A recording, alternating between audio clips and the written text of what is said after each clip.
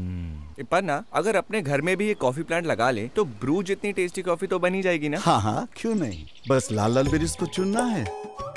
फिर उन्हें सुखाकर उनके बीज को रोस्ट करके पाउडर बना लीजिए।